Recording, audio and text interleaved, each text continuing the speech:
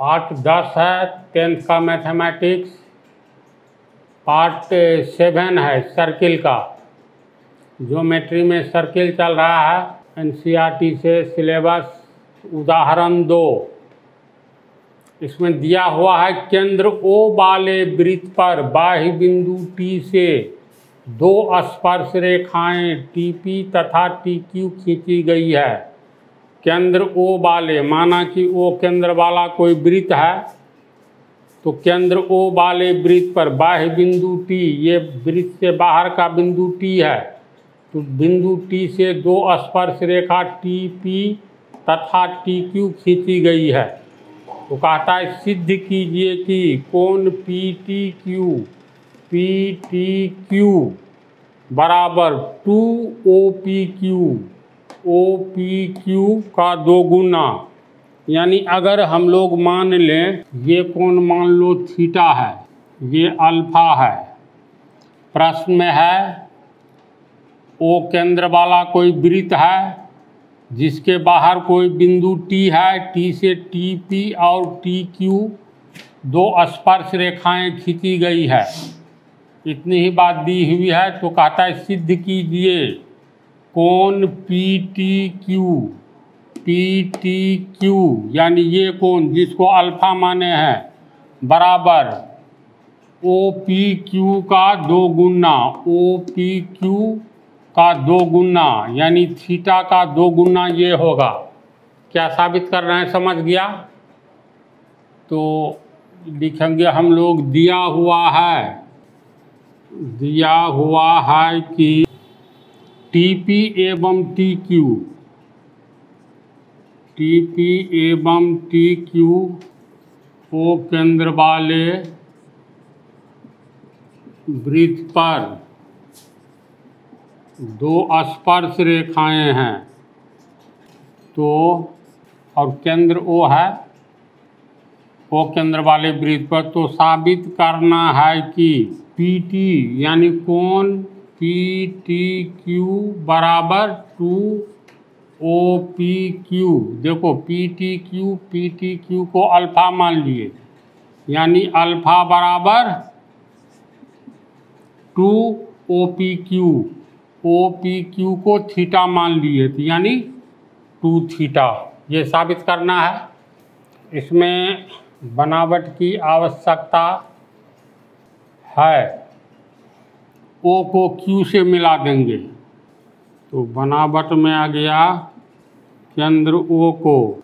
ओ को क्यू से मिलाया? इतने बात को समझा? इसको उतार लो।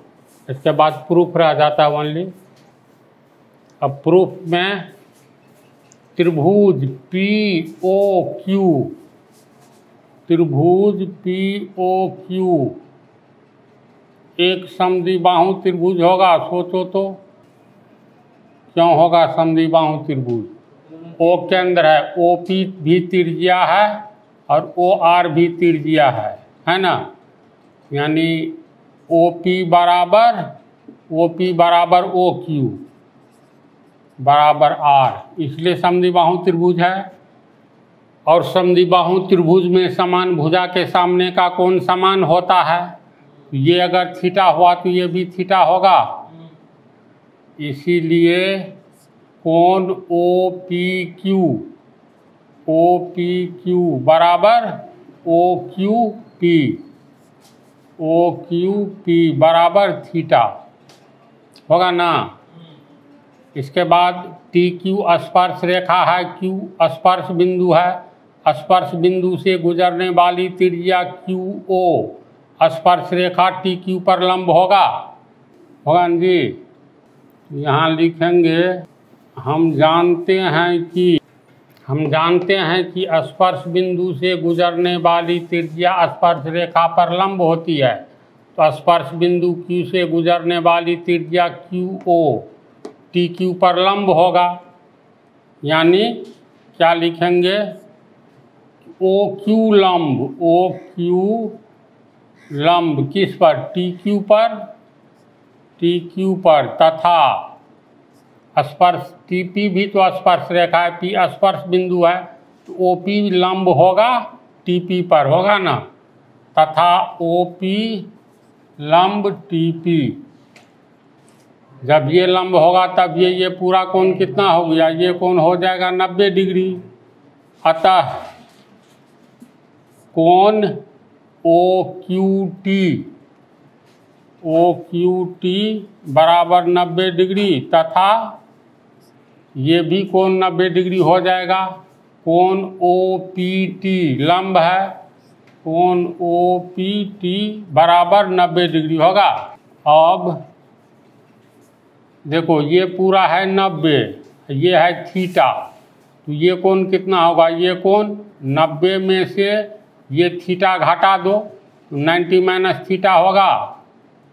इसीलिए कोण टी क्यू पी, कोण T Q P, T Q P, यानी ये कोण, अजोर पी क्यू ओ, दोनों मिला करके नब्बे होगा। कोण T Q P, T Q P, ज़ोर P Q O. P Q O बराबर नब्बे डिग्री और टी की T Q P T Q P plus P Q O P Q O ये तो थीटा है ज़ोर थीटा बराबर नब्बे डिग्री इसीलिए कोण टी क्यू पी बराबर नाइन्टी डिग्री माइनस थीटा होगा। इसको समीकरण एक मान लो। तो ये कौन हो गया तुमको? ये कौन? 90 डिग्री माइनस थीटा। इतना इतना कोण इसी तरह ये पूरा कोण 90 है? ये है थीटा। तो ये कोण कितना होगा? 90 माइनस थीटा। यानी इसी तरह कोण टी पी क्यू। इसको उतार लो तो पहले। इसी तरह कोण टी पी क्यू यानी ये कोण, ज़ोर ये कोण, नब्बे डिग्री होगा क्योंकि त्रिज्या लंब है स्पर्श रेखा पर तो लिख सकते हैं कोण टी पी क्यू प्लस कोण ये कोण, यानी O P Q O P Q बराबर नब्बे डिग्री। और कोण T P Q O P Q O P Q ये कौन थीटा है तो प्लस थीटा बराबर नब्बे डिग्री। इसीलिए कौन टी पी क्यू बराबर नाइन्टी डिग्री माइनस थीटा, समीकरण दो। अब त्रिभुज के तीन कोणों का योग कितना होता है? एक सौ अस्सी डिग्री होता है ना, क्योंकि त्रिभुज के तीन कोणों का योग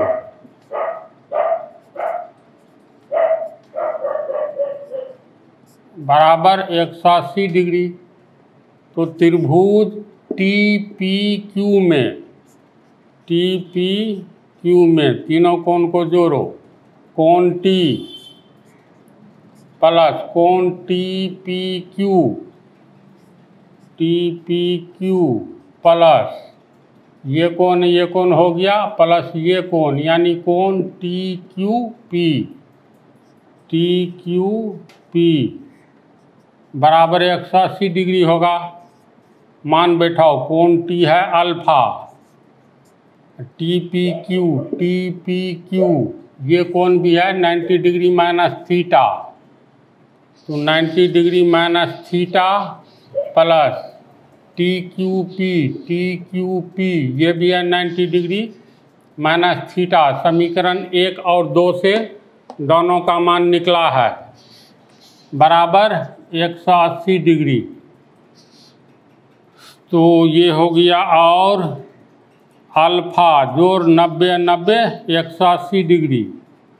Minus theta minus theta, minus two theta, बराबर एक सौ अस्सी डिग्री। और अल्फ़ा प्लस एक सौ अस्सी को आगे ले जाओ। अल्फ़ा माइनस टू थीटा बराबर एक सौ अस्सी डिग्री। अब पीछे वाला एक सौ अस्सी डिग्री माइनस हो जाएगा, एक सौ अस्सी डिग्री। तो दोनों कट गया ज़ीरो हो गया और अल्फ़ा माइनस टू थीटा बराबर ज़ीरो। इसीलिए अल्फ़ा बराबर टू थीटा। अब अल्फ़ा देखो किसको माने हो। अल्फ़ा है कौन टी तो कौन टी क्यू कौन सा है? ये है थीटा, है ना? टू थीटा, यानी टू क्यू हो गया कौन ओ पी क्यू कौन ओ पी क्यू प्रूफ यहीं साबित करना है, देख लो। इसको एक बार संक्षेप में बता दे कि समझ गया। ठीक है, रखो।